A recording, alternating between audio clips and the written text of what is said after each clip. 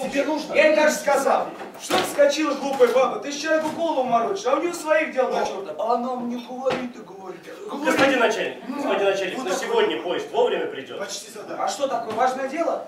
Достаточно важно. Держу пари, что речь идет о какой-нибудь Да. Все никак не бросьте свои книжки, господин учитель. Господин начальник, эта книжка очень особенная. Я столько лет ждал ее, я столько лет искал ее. И сейчас, когда я нашел ее в букинистической лавке в Бухаресте и попросил Пасху ее мне привезти, я просто не могу ждать. И даже не могли дотерпеть, пока привезут ее вам домой. Нет, я хочу встретить его на вокзале. Примча... Вот, примчались на вокзал, что встретить его прямо здесь.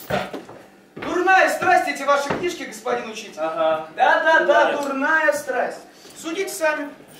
Вчера ночью говорили мы об вас с судьей аптекарем. А, хороший парень наш учитель, сказал этот ласку. как Вот такой мужик, вот О, но есть у него, говорит, недостаток. Вот он сидит себе целыми днями и смотрит носом в книжку. Вы преувеличиваете. Как раз нет.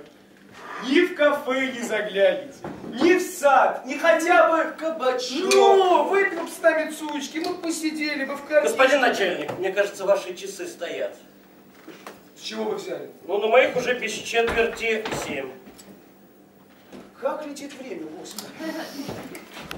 О, ну, если без четверти семь, то я успею, наверное, Да- уйти и да вернуться. зачем вы